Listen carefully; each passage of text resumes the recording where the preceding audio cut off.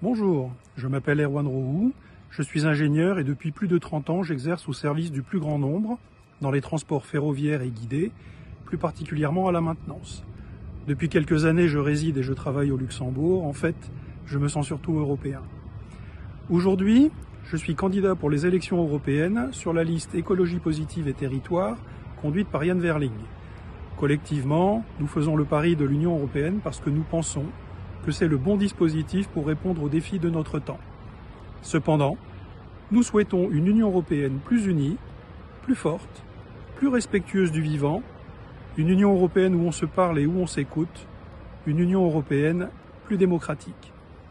Le 9 juin, votez pour un projet résolument positif et proche de vous, les pieds bien sur terre, votez écologie positive et territoire.